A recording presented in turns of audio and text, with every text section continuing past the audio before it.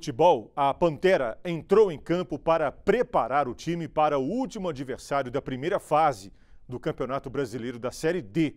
O mau tempo não foi capaz de vencer o ânimo dos atletas, comandados pelo técnico Paulo César Chardong.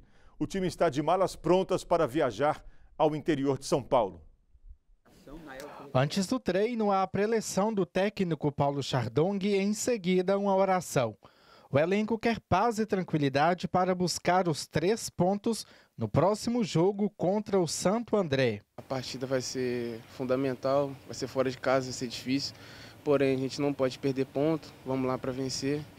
E se Deus quiser se abençoar, eu vou contribuir sim com, com gols, assistência, ajudando a equipe, junto com meus companheiros. A gente tem que se preparar para o desafio agora de domingo, né? Que é o jogo contra o Santo André.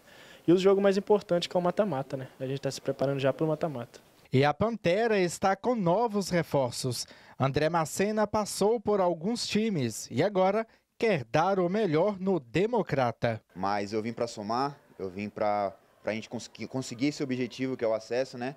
E a gente lutar cada vez mais. Esse último jogo é, é um jogo de teste, né? Muitos atletas estão suspensos aí e que a gente vai vai ganhar ritmo, vai ganhar entrosamento com, com os nossos companheiros, para no mata-mata a gente vir forte. Se existe a frase o bom filho a casa retorna, o Chiquinho é bem-vindo e tem o objetivo de somar habilidade e disposição ao elenco. É muito bom estar tá voltando, né? É, graças a Deus tive uma boa campanha ano passado aqui com o grupo.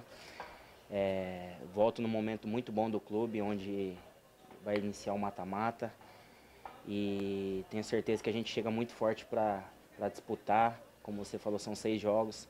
A gente manter os pés no chão, é, a gente sabe que são dois, o, o primeiro aí de volta.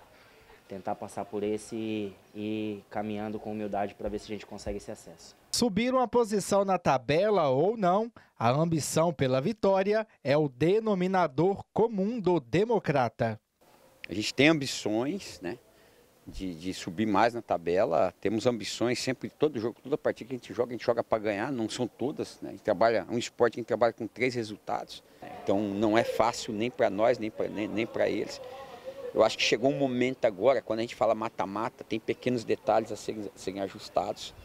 É, a gente vai enfrentar grandes equipes, não tem jogo fácil e nós temos que utilizar sim o fator casa, o fator estádio, mamudão, torcida, atmosfera positiva para fazer resultado aqui, para depois lá fora fazermos jogos inteligentes e garantirmos classificação. Então a gente está numa, numa pegada muito boa, trabalhando bastante e se Deus quiser aí, Deus vai estar tá abençoando, honrando a gente com esse trabalho que a gente vem fazendo.